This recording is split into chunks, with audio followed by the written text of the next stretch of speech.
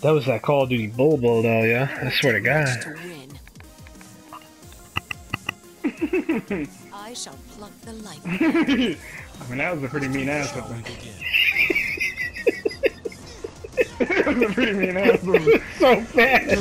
I didn't even get out of the spawn for the last half of that. I was just like, ah! Alright, I'm back. Ah! I'm back. Ah! Pretty badass something.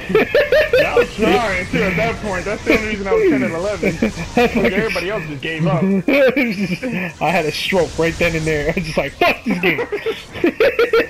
I'll smash the yeah, that was pretty fucking bad. Like, there was nobody who went positive on our team. I mean, nobody.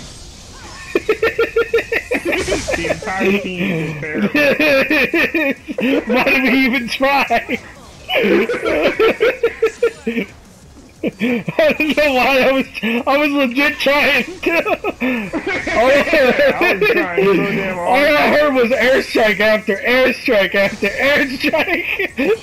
I got hit by every single one of them too. Yeah, that was bad. he, spawned it right in the spawn. I mean, he put it right in the spawn I'm trying to hide from it and it still hit me.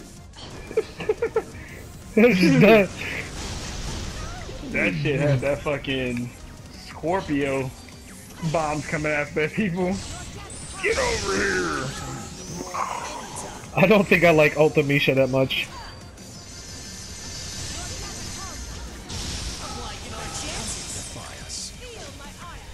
Pushing down What? these nuts. What is she throwing at them? Like axes or some shit? These nuts. These nuts. Got him! I'll smash the Got him! Oh my god. I feel like every character who has horns on their head is slow as fuck in this game. I thought they'd be powerful as hell, like the, the devil's. They have moves that just barely reach your enemy. Like you're just like inches from reaching them, and then they and then when you miss an attack, you're open like wide open for an ass whooping. Mm. At my. She's still pretty hot.